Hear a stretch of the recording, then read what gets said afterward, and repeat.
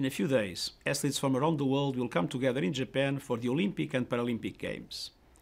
They've had to overcome enormous obstacles to participate in the middle of the COVID 19 pandemic. We need to show the same strength and solidarity in our efforts to bring peace to our world. The Olympic truce is a traditional call to silence the guns while the Games proceed.